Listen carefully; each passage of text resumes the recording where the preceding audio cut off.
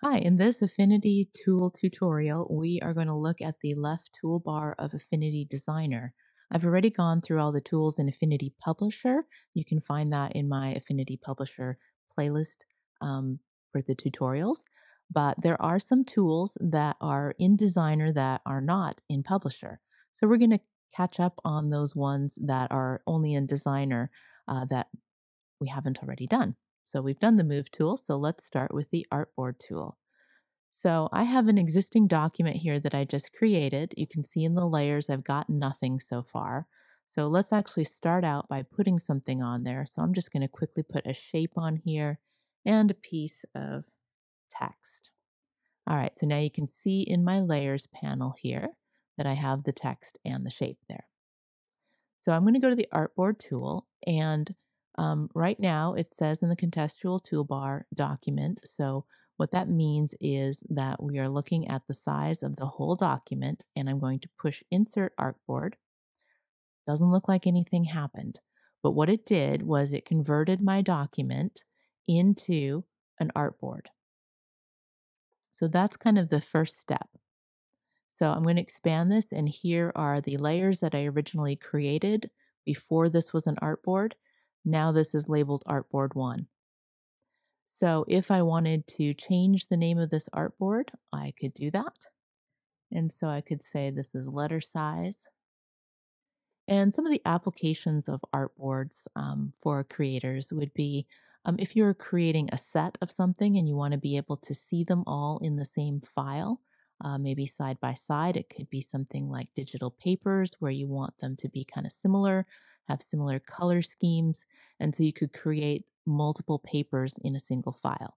You could also do the same for clip art. If you wanted to create clip art that was all in a similar style, see it all in the same file on the same screen all at once so that you can work on it. Mockups would be another thing where you might want to be able to see different versions of the mockup or different um, slides of the mockups. If you're doing like Etsy listings, for example, and you have multiple mockup images, you may want those to be together as a set. Same thing with social media images. Maybe you want to have different sized images for your Facebook, your Pinterest, your Instagram, and but you'd like to see them all on the same file. Maybe you can just copy and paste and resize uh, to the different sizes of social media images. You could even combine your mockups with your social media images so that you have um, everything looking very similar and everything related to a product all in the same file. All right, so that's the application of it. So we converted our document into an artboard, but now if we push this insert artboard again, that's when we start to actually insert an artboard. We're getting a second artboard that was created right next to the one that we already had.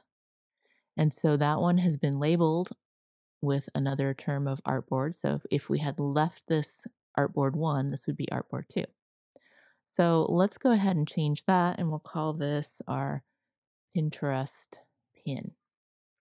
Now, Pinterest pin is not letter sized, so how could we change the size of this? Well, if we were on the artboard tool and I select this artboard by clicking on it, or select it here so that it's highlighted pink, now you see I have a bounding box on my artboard and I can actually pull this and just resize this to whatever size I want. Now, Pinterest has a specific uh, dimension, as do most social media platforms. So um, we can go to Window, Transform, and now because this is selected, has the bounding box on it, my transform window will show the width and the height of this. So I can say that my Pinterest pin should be 1000 pixels wide by 1500 pixels tall and now it has resized it to exactly that size and shape. So when you are looking at the layers for your artboard, you can see that we have the text and the shape here. Let's just um, create another shape on this pin and some, oops, there's two shapes. Uh, let's put some text on there as well. And you'll see that as long as I have this artboard selected, it is putting those elements under that Pinterest pin artboard. If you're getting a lot of artboards um, and it's getting a little confusing in your layers, you can always collapse the ones that you're not using. You can also select an artboard and lock it, and that way, if you are working with multiple artboards, you don't accidentally hit something and, and drag it out. Just let me get off the text tool. But now that it's locked, I can't move anything on that artboard, but I can still do it on my Pinterest pin because I did not lock it. So we can go ahead and unlock this. If you want to hide all the elements on an artboard, you can just toggle the visibility. It doesn't get rid of the artboard, but it does get rid of all the elements on it and just hides them. Another thing to be mindful is, is if I wanted to move this over to this artboard, I can just drag it over and you'll see that the layer moved over here. If I move this back up this way, you can see that box is still here. It hasn't physically moved. So I need to go to the move tool and move this back over here. So let me just do that again because that happened all pretty fast. But if I pick this up and move it to another artboard, it moved it to that artboard in my layers panel.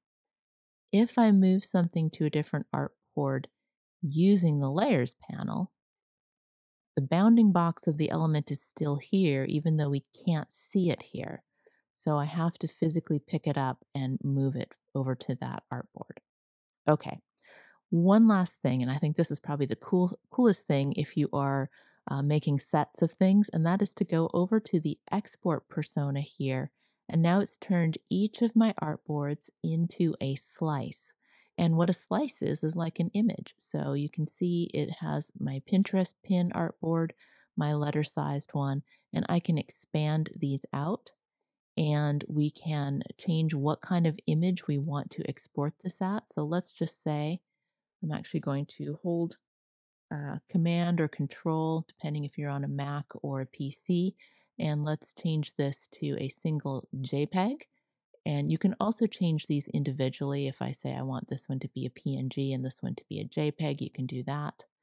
Um, I don't want to get too deep into this because this isn't really about the export persona, it's about the artboards. However, the cool thing is, is it's going to pick up the name from my artboard. So if you want your image to be labeled a certain something, just kind of be mindful of that as you're labeling your artboard. You can also click this little arrow box and just export this single image. Or you can come down here and whichever ones you have selected using these little dots here, you can export and we can just export those to our downloads or wherever you want to save it. And let me just open up my Finder here. And here's my two artboards that I just exported. So if you are working, let's say, on a bunch of mockups and social images all in one file, you can export them all together. It'll pick up the names from the artboards and it'll just export them all at once. So really handy feature. All right, thank you so much for watching.